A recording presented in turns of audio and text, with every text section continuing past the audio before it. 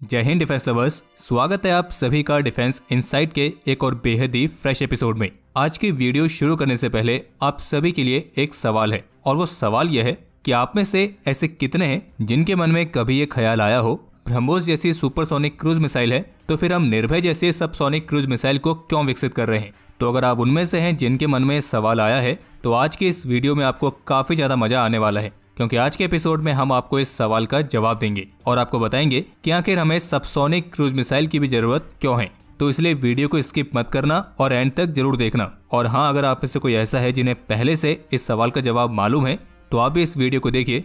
क्या पता आपको भी कुछ नई जानकारी मिल जाए। और बाकी हमारा तो क्या है, हमें तो आपका व्यू मिल ही जाएगा। तो चलिए अब और समय ना गवाते हुए बढ़ते हैं हमारे आज के इस एपिसोड की तरफ़।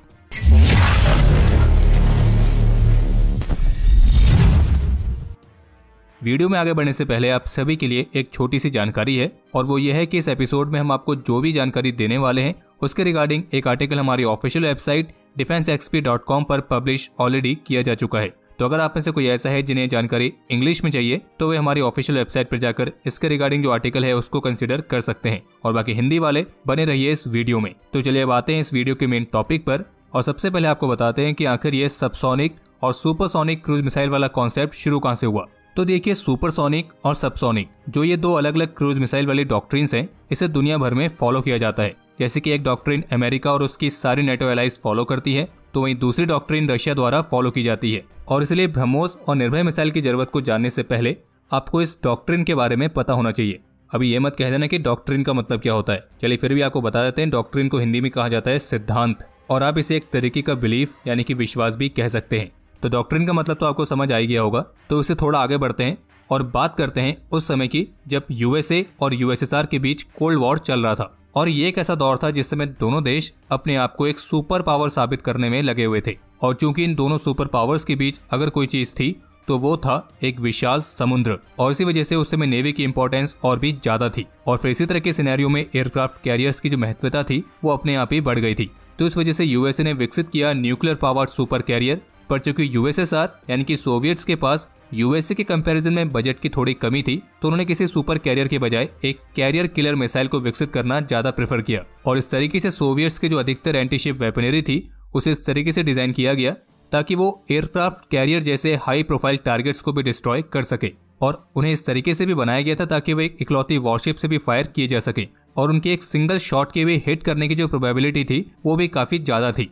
यानी कि अगर उस वेपन को फायर किया है तो इस बात के पूरे चांसेस बने रहते थे कि वो अपने टारगेट को हिट पक्का करेगा। और वहीं दूसरी तरफ़ यूएसए जिसके पास अच्छा खासा बजट था, और उसे इस तरह के वेपन्स की कोई स्पेसिफिक रिक्वायरमेंट भी नहीं थी, क्योंकि यूएसए के जो अधिकतर टारगेट्स थे, वो होते थे सोवियत यूनियन के छोटे डिस्ट्रॉयर्स और फ्रिगेट्स और उसी वजह से यूएसए को कोई high single shot kill probability वाली मिसाइल्स की ज़रूरत नहीं थी। और इसी वजह से उन्होंने इसके बजाय अधिक मिसाइल्स को वो कैरी कर सके, इस बात पर ज़्यादा फोकस किया। और इस वजह से जो वेस्टर्न कंट्रीज़ थी, उन्होंने अपनी नेवल डॉक्ट्रिन को हारपून टॉम हॉक एक्सोनेट, ऐसी अन्य सबसोनिक क्रूज मिसाइल के आसपास रखा और वहीं सोवियत से उनकी नेवल डॉक्ट्रिन, वो पी एट हंड्रेड ऑनिक जैसी बड़ी और बल्कि, लेकिन डेडली सुपरसोनिक मिसाइल्स के आसपास थी। और इस वजह से दुनिया में सबसोनिक और सुपरसोनिक मिसाइल वाली डॉक्ट्रिन बनी। और इसलिए अगर आप गौर करेंगे तो आज के समय में भी ऐसी कई सारी वेस्टर्न नेवीज हैं, जिनके इन्वेंट्री में आपको कोई भी सुपरसोनिक क्रूज मिसाइल नहीं मिलेगी। हालाँकि जो रशिया है, उसने अब एक हाइब्रिड मॉडल को अपना लिया है, यानी कि उसके पास सबसोनिक और सुपरसोनिक दोनों ही तरह की मिसाइल्स हैं। और अब तो रशिया ने हाइपरसोनिक मिसाइल्स के मामले में भी अमेरिका के कंपैरिजन में अच्छी खासी बढ़त हासिल कर ली है।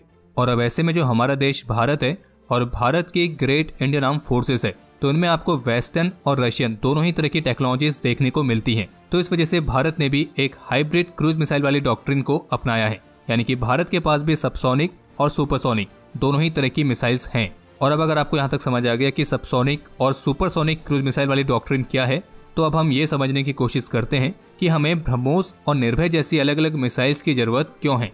और इसमें सबसे पहले बात करते हैं इन दोनों अलग अलग मिसाइल्स के प्रपल्सन सिस्टम की। तो इसमें जो ब्रह्मोस मिसाइल है, वो यूज़ करती है टू स्टेज प्रपल्सन सिस्टम इसकी जो पहली स्टेज है, वो है सॉलिड रॉकेट बूस्टर जो कि अगली स्टेज के लिए कुछ रिक्वायर्ड सर्टेन वेलोसिटी को गेन करने के काम आती है। और जो सेकंड स्टेज है, वो है लिक्विड रैमजेट मोटर की। और यही वो स्टेज है, जो मिसाइल को सुपरसोनिक रफ्तार हासिल करने में मदद करती है। वहीं अगर बात करें निर्भय मिसाइल की तो निर्भय भी ब्रह्मोस की तरह ही एक टू स्टेज मिसाइल है, जिसकी पहली स्टेज में है सॉलिड रॉकेट मोटर और दूसरी स्टेज में है एक टर्बो फ़ैन इंजन जिसे पावर मिलती है लिक्विड फ्यूल से।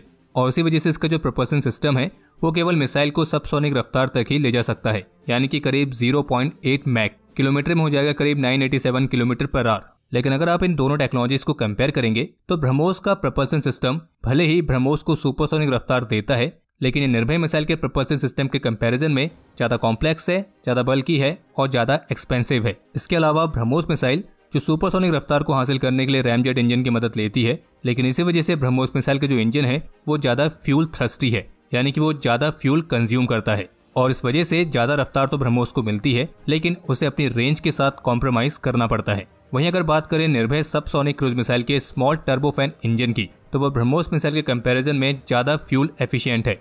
इस वजह से निर्भय मिसाइल की भली स्पीड कम है, लेकिन यहाँ पे उसे अपनी रेंज के साथ कोई कॉम्प्रोमाइज नहीं करना पड़ता है। एग्ज़ाम्पल के लिए आप इसको ऐसे समझ लीजिए कि जो एक टिपिकल टॉम हॉक टाइप की सबसोनिक क्रूज मिसाइल होती है तो उसकी मिनिमम रेंज ही करीब 1500 किलोमीटर तक है, और वहीं जो ब्रह्मोस मिसाइल है ऑफिशियली तो उसकी रेंज 290 किलोमीटर ही बताई गई है, लेकिन इसकी रेंज को करीब 800 किलोमीटर तक बढ़ाए जाने पर भी काम चल रहा है। लेकिन फिर भी ब्रह्मोस मिसाइल की रेंज को किसी टिपिकल सबसोनिक क्रूज मिसाइल की रेंज जितना करना काफ़ी ज़्यादा मुश्किल है, और आप इसे इस तरीके से भी समझ सकते हैं कि एक है 1000 सीसी की सुपर बाइक और एक है 110 सीसी की नॉर्मल इकोनॉमिक बाइक। अब जो 1000 सीसी वाली सुपर बाइक है, उसका इंजन पावरफुल है तो उसकी रफ्तार भी अच्छी खासी होगी, लेकिन उसका माइलेज उतना ही बेकार होगा। वहीं जो 110 सीसी वाली बाइक है, उसका इंजन उतना पावरफुल नहीं है, लेकिन जिसको माइलेज होगा, वो उस 1000 सीसी वाली सुपर बाइक से डबल से भी ज़्यादा होगा। इसके अलावा इन दोनों अलग अलग मिसाइल्स का जो वेट और फॉर्म फैक्टर है, वो भी काफ़ी ज़्यादा प्रभाव डालता है। जैसे कि अगर आप ब्रह्मोस मिसाइल को उसी की सिमिलर रेंज वाली किसी सबसोनिक काउंटर पार्ट से कंपेयर करेंगे तो ब्रह्मोस अपने सबसोनिक काउंटर पार्ट के कंपैरिजन में थोड़ी हैवी और बल्कि निकल के सामने आएगी।